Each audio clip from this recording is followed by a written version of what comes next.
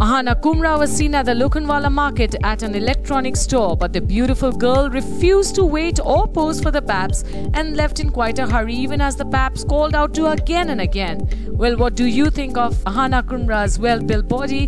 Do share with us in the comment section below.